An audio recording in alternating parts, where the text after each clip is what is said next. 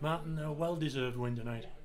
Yeah, I thought it was a really strong performance. You know, we talked about uh, getting back to winning ways straight away after the weekend, uh, and a clean sheet and a dominating performance throughout the 90 minutes. It was exactly what we needed. Played the game at a very fast tempo as well. Yeah, you know, we had two, two match reports, and the match reports came back that obviously, you know, that was important that we did want to start the game really high. I thought the pitch, the conditions was great. It allowed the ball to move quick with the rain. And I felt the uh, the, the delivery from back to front was very good tonight, and uh, I thought we controlled the game throughout.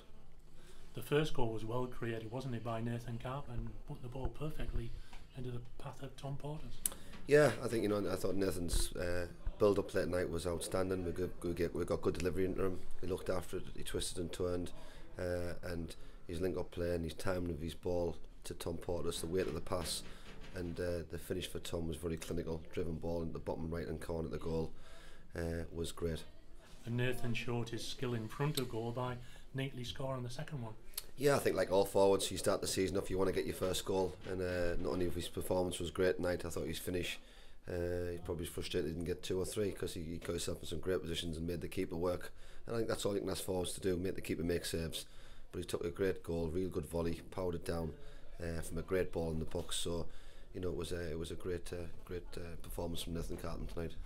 And could have scored more as well before half time. They, they cleared one off the line, keeper pulled off a couple of good saves. Yeah, we should have went in 3 0 up. I mean, Mitchell had one where I don't know, he quietly caught it with his left foot, he should have scored. Uh, but you know, I, I, I was desperate to get a third goal before half time. We always said the third goal, the next goal would change the game. And we talked about half time of how we had to come out and start with the same momentum and tempo, and we did that really well. And uh, as I said, yeah, it could have been sort of four or five. Uh, had the you know had the, the keeper not made some good saves. And the third one did come along. Kevin Burgess eventually getting it. Yeah, he's a he's a defensively fond, def- and, and again he gets himself in positions. He's brave. He, he wants to win every header. He throws himself in front of things, and he's a centre half. So I'm sure contribute a lot of goals this season. I thought his performance tonight was very strong.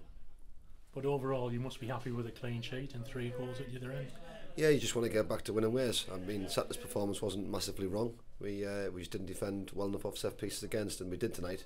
You know, we threw our head on things. Nobody got a free header, and I think that's one thing that we we, we asked the players to make sure we were better at, and they were.